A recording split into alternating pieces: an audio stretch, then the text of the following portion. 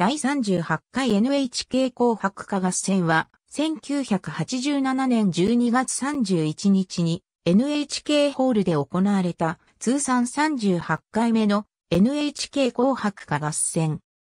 21時から23時45分に NHK で生放送された。当時は視聴率の低下が問題となっていたが、今回は紅白改革と銘打ち、出演者の大幅刷新と多ジャンル化を断行した。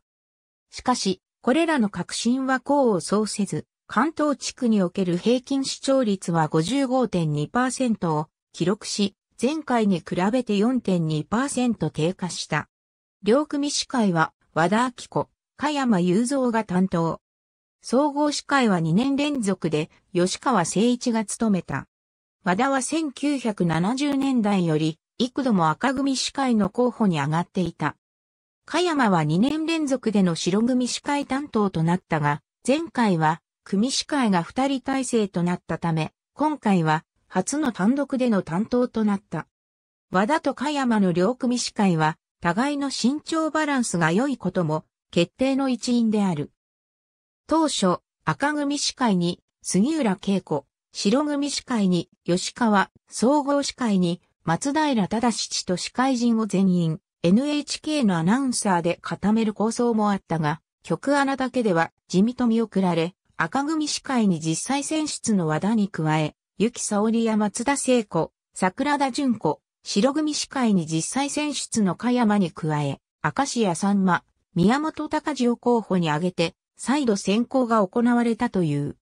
最終的に白組司会は、前回の実績と人気の高さから、加山の続投が決定し、赤組司会は、当初本命とされた雪を抑えて和田が起用される、運びとなった。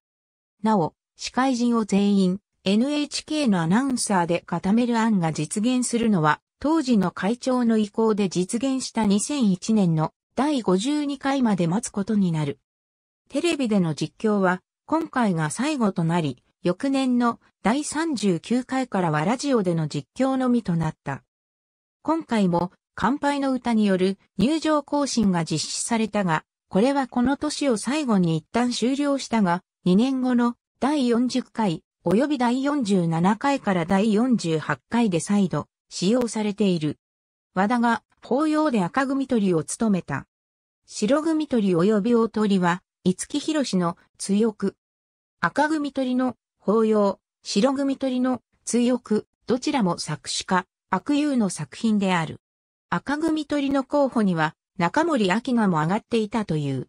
優勝は赤組。優勝旗を手渡された和田は感極まって号泣していた。今回の実績が評価される形で、第39回も和田、加山が揃って両組司会を続投した。後年、思い出の紅白歌合戦で再放送された。今回は出場歌手の選考方法が大きく変わった。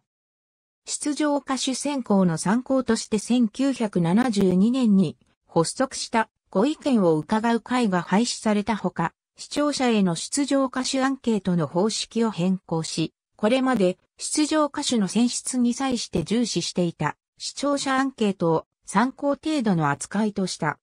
オペラ歌手の佐藤忍、シャンソン歌手の金子ゆかり、ニューミュージックからは、谷村新司、稲垣淳一ら実力派歌手が出場し、出演者の顔ぶれは大きく変わった。他ゆきさおりが第29回以来9年ぶり、布施明が第31回以来7年ぶりの復帰となる。黒い交際発覚により前回の出場を急遽辞退した北島三郎、山本ジョージも揃って2年ぶりの復帰出場を果たした。これまで紅白の顔として、共に1986年まで当時、史上最多出場中だった島倉千代子と南春夫が出場者決定の前に事態を発表した。島倉、三波の両事態により、今回の紅白最多出場者は赤組が小柳ルミ子、白組が村田秀夫にそれぞれ入れ替わっている。前回の出場歌手の中より今回不選出となった歌手は以下。前回まで22回連続出場中だった水前寺清子や10年連続出場中の戦、正浦をはじめ、上日の通り紅白歌合戦の出場常連者が次々と落選。また村田秀夫、八代明、沢田健二、川中美幸らも今回で一旦出場が途切れた。出場者発表を報じた NHK ニュースは、白組歌手発表の際、松平忠七が、ここは、他行、な行、派行の方々ですが、田原俊彦さんの名前はありませんと田原の落選を報じるという異例のニュースだった。NHK がオファーしていたものの、結果的に不選出となった歌手は以下の通り。辞典組として、森山良子、テレサ店、三沢明美、大川栄作、山川豊、鳥羽一郎が挙げられていた。鮫島由美子は年末までドイツに滞在していたため、辞退した。さらに事前報道で有力候補として上がっていた歌手に、松任谷由実、加藤時子、レベッカ、長渕剛、ザ・アルフィー、ハウンドドッグ、ボーイ、桂ウンスクラがいる。紅白歌合戦の真実によれば、南野陽子、ファン投票11位の中山美穂、トンネルズ、徳永秀明は落選だったという。牧山康之、思い出の紅白歌合戦、高田、紅白歌合戦の真実、ハット AB ゴーダ道人、紅白歌合戦の舞台裏全音楽譜出版社、2012年。ゴーダ、紅白歌合戦の真実、196ページ。朝日新聞1987年11月11日付長官、26ページ。ABCD、朝日新聞1987年12月6日付長官、6ページ。読売新聞1987年11月6日付、東京夕刊、14ページ。読売新聞1987年11月25日付、東京夕刊、18ページ。読売新聞1987年12月2日付、東京夕刊、13ページ。島倉屋、これが私の遺言堂、島倉屋、これが私の遺言。2年後の1990年12月2日に死去。